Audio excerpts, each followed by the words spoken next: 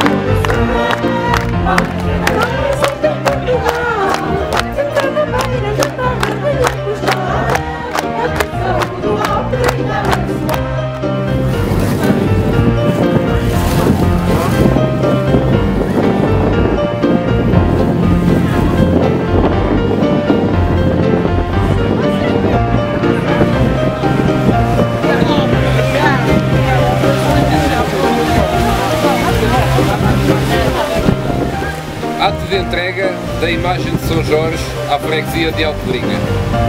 Ao segundo dia do mês de setembro